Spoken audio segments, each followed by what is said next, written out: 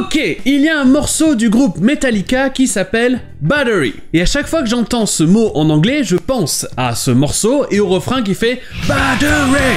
Et en y réfléchissant un peu, ça me paraît bizarre de chanter Battery, comme par exemple une batterie de voiture ou une batterie électrique. Et en plus, c'est même pas une batterie l'instrument, puisqu'en anglais ça se dit drums. Et donc il doit bien y avoir un autre sens du mot battery en anglais. Mais tout d'abord, il y a un instant, je parlais de batterie électrique. Et en effet, c'est le sens principal de battery en anglais.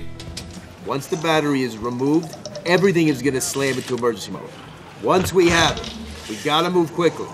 So you definitely need to get that last. Mais battery, c'est aussi le nom pour des piles en général.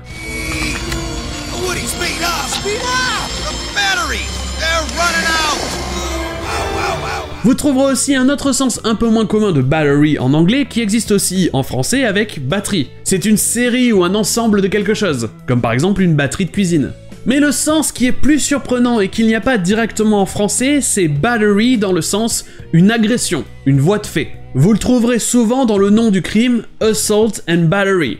La différence entre les deux, c'est que assault, c'est l'action de menacer d'agresser quelqu'un, et battery, c'est l'action d'agresser cette personne physiquement, de frapper quelqu'un.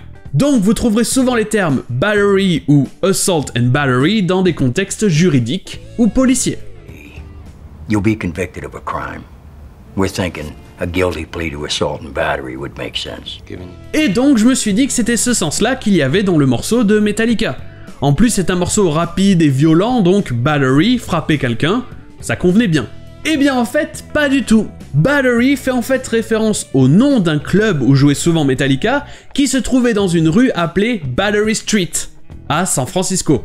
Donc a priori rien à voir avec le nom commun Battery. Par contre, ça m'empêchera pas de penser à chaque fois à Battery à chaque fois que j'entends ce mot en anglais. Et sur ce, je vous dis à demain